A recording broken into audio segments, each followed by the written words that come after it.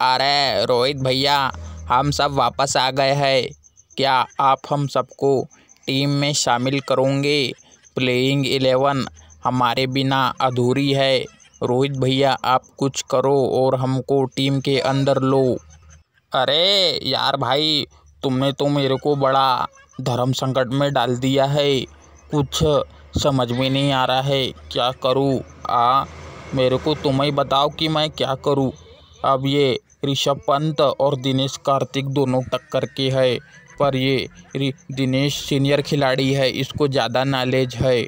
ओ, और वो बैटिंग भी कर लेता है और ये भी बैटिंग कर लेता है। ये फिनिशर है और ये बुमराह तो नीचे गर्दनी करके बैठा है। अरे यार भाई मैं तेरे को ज़रूर खिलाऊँगा, तू टेंशन मत ले।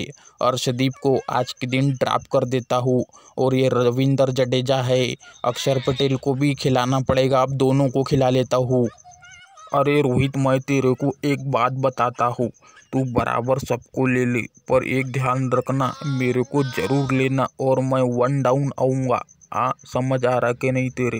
रोहित, उसके बाद ये रविंद्र जडेजा की सालगिरह की पार्टी है, उसमें भी जाना है। आप सब चलना, मैं अरे, जड्डू, तूने मुझे बताया नहीं कि तेरी सालगिरह की पार्टी दे रहा है। वैसे क्या है मेन्यू में? आ? मेन्यू में है, मैं आपको बताता हूँ। देखो, सादी पूरी है, चरखी पूरी है, रोटी है, पनीर की सब्ज़ी है और मिक्स वेज है और चीम है, गाड़ी वाली कड़ी है और दाल चावल है कटियार की सब्ज़ी है। आओ फिर सबके सब, आ, दिनेश, तू भी आना, तुझे